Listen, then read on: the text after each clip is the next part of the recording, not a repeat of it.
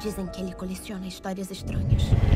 E se você ouvir o assobio dele, sabe que alguma coisa arrepiante vai se revelar. Animem-se, cinco infelizes! Isso são piolhos. Sejamos inteligentes. Não devorados.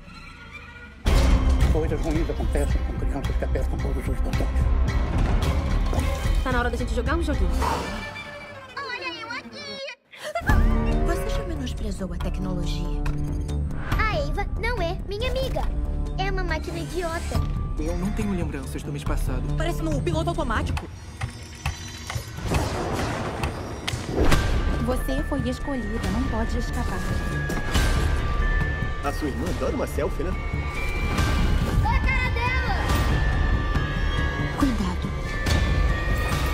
Você nunca realmente sabe se existe alguma coisa lá fora aguardando nas sombras.